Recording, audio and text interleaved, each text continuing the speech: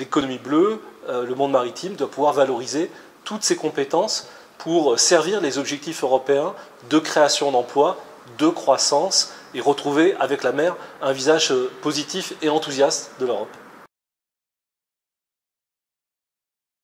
2017, c'est l'année où l'Europe peut prendre des décisions sur la mer et se donner une nouvelle ambition.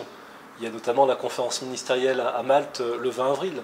Donc c'est le moment ou jamais d'aller vers une vraie politique maritime intégrée, une vraie ambition maritime européenne. Il y a beaucoup à faire, mais le premier objectif, c'est qu'il y ait une initiative politique du Conseil et de la Commission pour un livre blanc que j'ai appelé La mer au cœur de l'Europe, qui donne une feuille de route transversale à toutes les politiques communautaires. Euh, la mer, ça doit devenir une politique européenne transversale, pas seulement une collection de projets.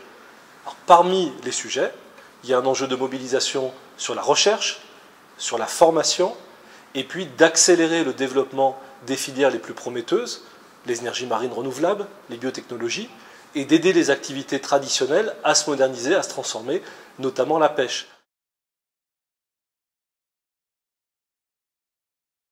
Le Brexit va bouleverser l'espace maritime européen. Alors d'abord, évidemment, euh, dans le nord-ouest de l'Europe, euh, nos amis irlandais, par exemple, euh, au contact de la Grande-Bretagne, mais nous aussi, la France, la Belgique, les Pays-Bas, des nouvelles frontières maritimes qui vont apparaître, qu'il va falloir gérer. C'est aussi une remise en cause de l'historique en matière de pêche. Donc il va falloir redéfinir les droits des pêcheurs, redéfinir aussi des règles en matière de commerce, éviter qu'il y ait un dumping venant de la Grande-Bretagne face aux acteurs maritimes européens.